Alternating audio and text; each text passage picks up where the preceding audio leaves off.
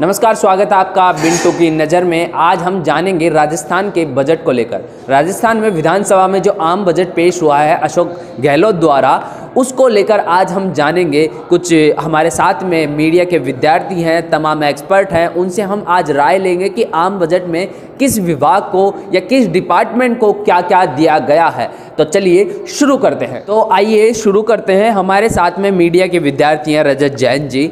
आज इनसे जानेंगे कि ये पत्रकारिता में फाइनल ईयर की जो पढ़ाई कर रहे हैं, अध्ययनरत हैं। अब इनके साथ में आप, सर, आप मुझे ये बताइए, जैसे कि कल जो परसों विधानसभा में जो बजट पास हुआ है, आम बजट जो दिया गया है मुख्यमंत्री द्वारा, उसमें आपको कहाँ तो खामियाँ दिखती हैं और कहाँ एक ऐसी चीज़ निकल के आती है जो कि आपको लगता है कि हाँ ये आम लोगों के लिए बहुत अच्छा बजट साबित हो सकता है?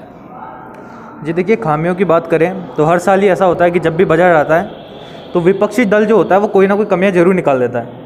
और जो मूल बजट निकलता है, उसमें कुछ ना कुछ परिवर्तन होते ही होते हैं। और इस बार भी कुछ ऐसा ही है, कई फैसले ऐसे हैं, जो कि देखने पर ऐसा लगता है कि चुनावी वोटों के लिए ही फैसले लिए गए हैं।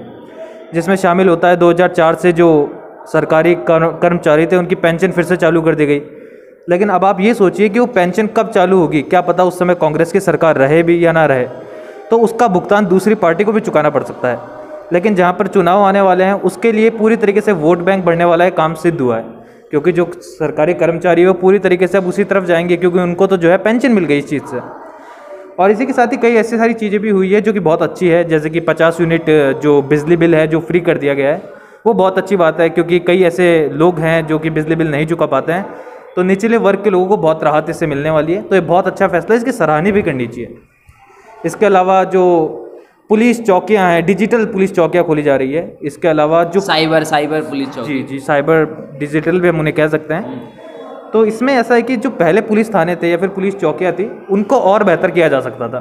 क्योंकि अभी हम आम लोगों से जब बात करते हैं मैं आम लोगों की बात कर रहा हूँ जब उनसे बात करते हैं तो पता चलता है कि आज पुलिस को लेकर लोगों के मन में सुरक्षा नहीं बल्कि थोड़ा डर है। लोग कतराते हैं पुलिस स्टेशन में जाने से। तो यहाँ पर नई चौकियों को डिजिटल चौकियों से खोलने से पहले, जो पहले से चल रही है, उनको सुधारना बहुत आवश्यक नज़र आता है। बाकी बजट बहुत अच्छा है, काफ़ी सारी चीज़ें हैं जो आम जनता को भी इस बार मिली है, जिसमें बिजली सबसे बड़ी बात है। इसके साथ ही नहर के बारे में है, जिससे पानी की सुविधा होगी तो कई सारी ऐसी चीज़ें भी जो बहुत अच्छी है। तो बहुत तो अच्छी हैं, आप बता रहे हैं जिस हिसाब से कि ठीक है, मान लीजिए कि हाँ इस बजट को लेकर आपकी ये मानसिकता है कि बहुत अच्छा बजट है। लेकिन आपको क्या लगता है कि 2000 नई इंग्लिश मीडियम स्कूल बनाना जूनियर स्कूलों को, सीनियर स्कूलों में कन्वर्ट करना, ये कहीं ना कहीं ऐसे लगता है कि ये पॉसिबल थोड़ा बहुत डिफ़िकल्ट काम है। बजट में तो पेश कर दिया गया, लेकिन हकीकत में इसको एक अलग नया रूप देने के लिए कहीं ना कहीं सरकार को बहुत ज़्यादा मशक्क़त करनी पड़ेगी, क्योंकि सारी गवर्नमेंट स्कूलों को सीनियर स्कूलों में कन्वर्ट करना एक बहुत ही बड़ा प्रोसेस है। उसको लेकर क्या कहेंगे? जी सर, देखिए, जैसा कि 2021 में जो बजट आया था पेपरलेस बजट आया था, उसमें 30 महिला कॉलेज खोलने की बात हुई थी और वो अभी प्रोसेसिंग में है और इसके साथ ही इस बार वाले बजट में जो है नए स्कूल खोलने की बात हुई है। तो इस सेम मेरा वही ओपिनियन है इस चीज़ को लेकर भी, जैसा कि मैंने थानों के बारे में कहा कि जो चीज़ें वर्तमान में चल रही है, पहले हम उसे सुधारें, उसके बाद कोई नई रणनीति बनाए तो वो बेहतर है। क्योंकि जब पहले वाले ही जो हमारे विद्यालय हैं, वो पिछड़ते जा रहे हैं, दिल्ली की तर्ज पर जो उन्हें English medium school digital school खोलने की कोशिश हो रही है तो पहले वालों में सुधार करके हम नए विकास की ओर जाएँ तो वो बेहतर प्रोसेस लगता है। लेकिन सिर्फ़ हम ढांचा स्ट्रक्चर तैयार करते जा रहे हैं, उसका यूज़ नहीं आ रहा है तो इसमें कोई फ़ायदे वाली बात नज़र नहीं आती है।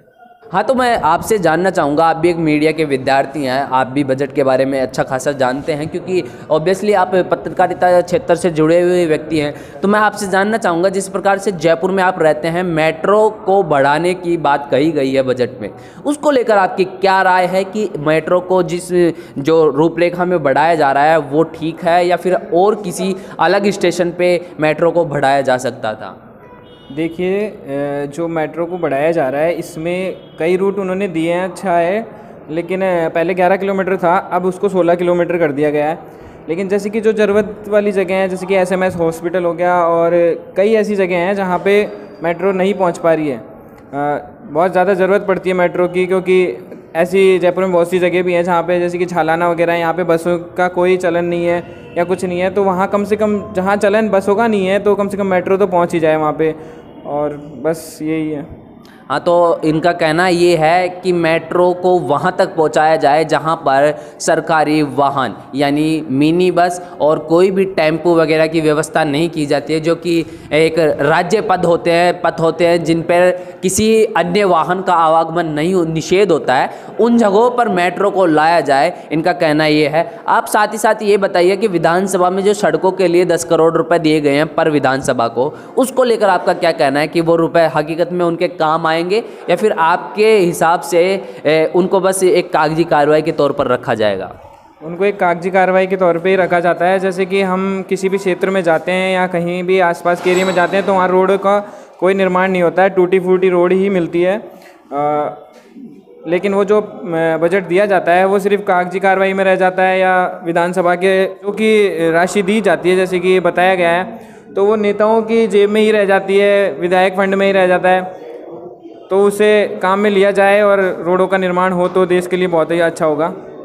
हाँ तो जैसे कि आपने सुना, मीडिया विद्यार्थियों का कहना था कि आम बजट में क्या क्या कमियाँ हैं और क्या क्या चीज़ें सुधारी जा सकती हैं। इसको लेकर हम मीडिया विद्यार्थियों से जाने हैं और साथ ही साथ आपको भी बता दें कि जो बजट आया, उसको ध्यान से आप भी पढ़िए और आप भी पता लगाइए कि उसमें क्या खामियाँ हैं और क्या आपको लाभ मिल सकते हैं। क्योंकि अपनी जनता को जब तक किसी नई योजना या किसी बजट के बारे में नहीं पता लगेगा, तब तक आप भी उसका लाभ नहीं प्राप्त कर सकते हैं। इसलिए जनता को जागरूक बनो और अपने बजट को पढ़िए और हर योजना का एक अलग से एक डेमो तैयार कीजिए और आप भी उस पर खामियाँ सुधारिए। बाकी बिंटू की नज़र पर जुड़े रहे हैं, क्योंकि यहाँ खबरों का सिलसिला कभी नहीं थमता। धन्यवाद।